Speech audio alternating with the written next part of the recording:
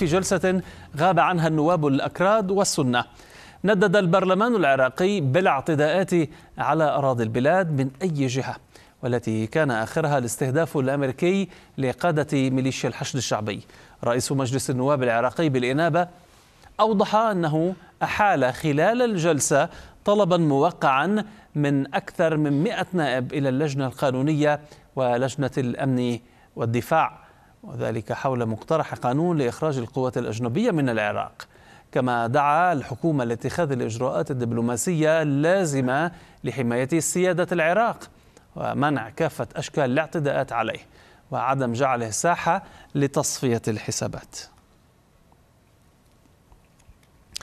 هذا وكانت ميليشيا موالية لإيران في العراق أعلنت مساء أمس استئناف عملياتها العسكرية ضد القواعد الأمريكية ليكون البيان الضربة الثانية لمساع الحكومة العراقية للتهدئة وإنهاء الوجود العسكري الأمريكي في العراق. الضربة الأولى كانت مع معاودة القوات الأمريكية لاستهداف قيادة أو هذه القيادات قيادات الميليشيات الإيرانية في العراق ردا على مقتل ثلاثة جنود أمريكيين على الحدود الأردنية السورية.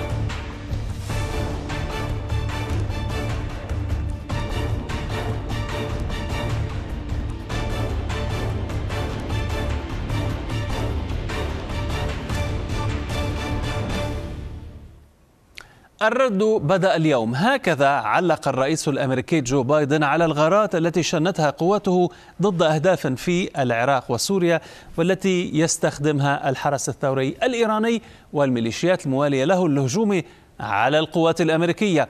المتحدث باسم مجلس الأمن القومي الأمريكي جون كيربي وبعد أيضا قليل وبعد وقت قليل قال وذلك من غارة الجمعة الماضية. قال إن الأهداف التي طالتها الضربات شملت بالفعل مراكز قيادة ومبنى قيادة عامة ومراكز استخبارات ومخازن صواريخ وقذائف ومسيرات ومراكز نقل وإنتاج للذخائر.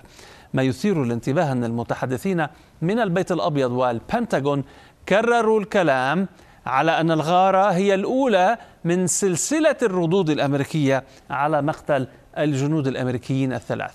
والقصد هنا هو ضرب قدرات الميليشيات وإعاقتها عن شن هجمات بدعم من الحرس الثوري الإيراني. مسؤول في البنتاغون قال للحدث إن الولايات المتحدة سترد كل مرة يتعرض الجنود الأمريكيون هناك أو في أي مكان للهجوم أو الخطر. يريد الأمريكيون إبقاء الباب مفتوحا أمام ردود متعددة متكررة وهو ما يفسره قول أيضا أكثر من مرة إن القصف كان البداية. وقالوا إن الرد يمكن أن يشمل العمل الدبلوماسي والاقتصادي أيضا. وربما كان الرد الأوضح. هو الهجوم نهار الأربعاء الأربعاء الماضي على سيارة يستقلها أبو باقر الساعدي القيادي الكبير في كتائب حزب الله.